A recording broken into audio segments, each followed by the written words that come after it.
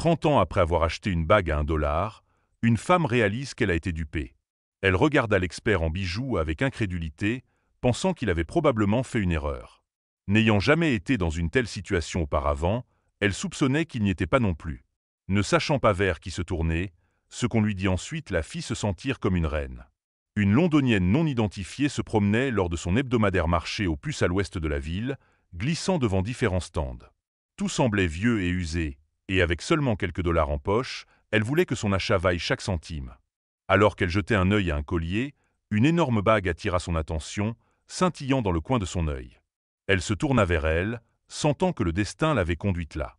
La femme, qui a demandé à rester anonyme, voulait quelque chose de beau et de luxueux. Bien que cela semblait au-delà de ses moyens, la bague résonnait en elle d'une manière qu'elle ne pouvait expliquer. La taille et le cristal lui donnaient l'apparence d'un bijou de conte de fées, et elle savait qu'elle devait l'avoir. Un talisman pour lui rappeler que si elle travaillait assez dur, elle pourrait acheter un vrai diamant. Elle ne savait pas que tout allait changer. Elle compléta son achat, dépensant ses derniers fonds pour cette pièce incroyable. Dès lors, elle porta la bague tous les jours, et les années passèrent avec son talisman toujours à ses côtés. Issue d'un milieu modeste, elle n'avait pas besoin de grand-chose d'autre. Cela la faisait se sentir comme une princesse, même des décennies plus tard. Cependant, un jour, une étrange visite au supermarché bouleversa sa vie. Un bel après-midi, après le travail, elle s'arrêta dans un supermarché à proximité. En prenant ses articles et en attendant dans la file, elle remarqua un inconnu fixant sa main. Se sentant mal à l'aise, elle balaya la pensée et continua d'attendre. L'homme ne cessait de contempler sa bague, la rendant de plus en plus mal à l'aise. Quand ce fut son tour, elle paya rapidement et s'en alla, consciente de ses yeux qui la suivaient. Méfiante et effrayée, elle se hâta vers sa voiture, essayant de le perdre dans la foule. Mais il restait proche, et lorsqu'elle se retourna pour le confronter, il l'assaillit avec une question. Il lui demanda si cela l'embêtait de lui laisser examiner sa bague de plus près. Désapprouvant son audace et suspectant une arnaque, elle l'écarta et s'éloigna rapidement. Un jour, elle était tellement pressée qu'elle oublia de mettre la bague. Cela était devenu un rituel pour elle de se réveiller et de la mettre, mais ce jour-là, elle était perturbée. Après avoir réalisé son erreur, elle descendit à l'arrêt suivant et se hâta de rentrer chez elle, pensant qu'elle ne pouvait pas croire qu'elle avait laissé derrière, surtout après la rencontre au supermarché. Grimpant les escaliers, elle chercha la bague dans sa chambre, mais elle n'était pas à l'endroit où elle l'avait toujours mise. Un pressentiment lui disait que quelque chose n'allait pas, et elle fouilla sa chambre dans un frénésie.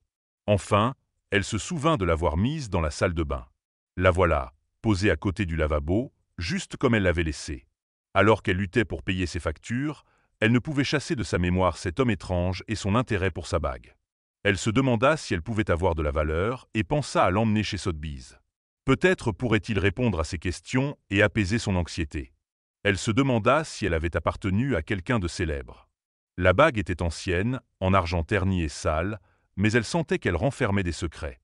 Quelques jours d'angoisse plus tard, elle découvrit enfin la vérité. Sotheby's garda la bague pour des tests, et son cœur se serra. Ils confirmèrent son authenticité et révélèrent qu'il s'agissait d'un énorme diamant blanc en forme de coussin du XIXe siècle. Elle ne pouvait pas y croire. Sûrement, ils avaient dû faire une erreur. Comment avait-elle pu porter une bague si précieuse tout ce temps? Jessica Winham, qui dirige le département de bijoux chez Sotheby's, expliqua qu'une bague de cette valeur appartenait probablement à quelqu'un de la famille royale au XIXe siècle. La taille du diamant était ancienne, ce qui pouvait tromper les gens en leur faisant penser qu'elle n'était pas authentique. Le style antique déguisait son éclat, la rendant moins reconnaissable. Sotheby's prit le temps d'authentifier et d'évaluer la bague, mais ils confirmèrent qu'il s'agissait bien d'un diamant. Ils la testèrent minutieusement, et Jessica dit à la femme que la bague pourrait rapporter une somme incroyable si elle était mise aux enchères. Elle savait, lorsqu'elle se tenait au marché aux puces, que la bague scintillait, mais peut-être n'avait-elle brillé que pour elle.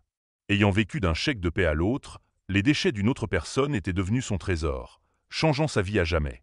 La bague fut envoyée aux enchères et vendue pour un montant incroyable, rendant sa vie beaucoup plus facile. Merci beaucoup d'avoir pris le temps de regarder notre vidéo. Nous espérons sincèrement que vous l'avez appréciée autant que nous avons pris plaisir à la créer pour vous. Votre soutien compte énormément pour nous. Si vous avez trouvé la vidéo divertissante ou utile, nous vous serions très reconnaissants de prendre un moment pour cliquer sur le bouton s'abonner.